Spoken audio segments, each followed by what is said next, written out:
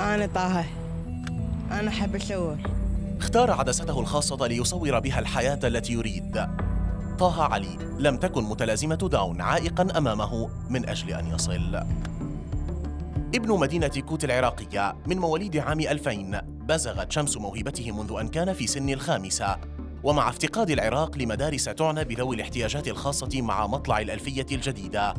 لم يكمل مصور قصتنا دراسته فأطلق العنان لموهبة التصوير التي ظهرت بحسب عائلته مع بداية انتشار الهواتف المحمولة مستخدما كاميرا الموبايل في بداياته. الشاب طه علي آه، من آه، العراق من ذوي الاحتياجات الخاصة.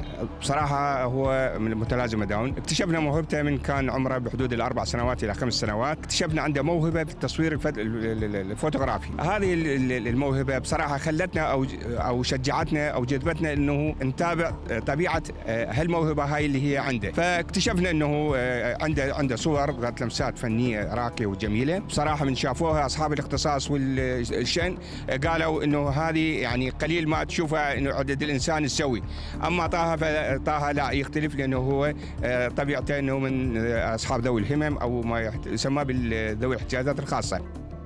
أكثر من 30 معرض شخصي أقامهم طه في العراق وخارجه مع مشاركات اقتربت من حاجز المئة مشاركة عربية ودولية. زين بها رحلة الطموح بجوائز عالمية جعلته عضوا في عديد الجمعيات المختصة بالتصوير وعالم الفوتوغراف. سوى الكثير من المعارض حدود أكثر من 30 معرض شخصي. وبصراحة إحنا اختارينا النوع للكم. أما مشاركات اللي هي محلية ودولية عنده مشاركات هذه المشاركات يعني فاقت اللي أكثر من بحدود ناهزت ال 100 مشاركة.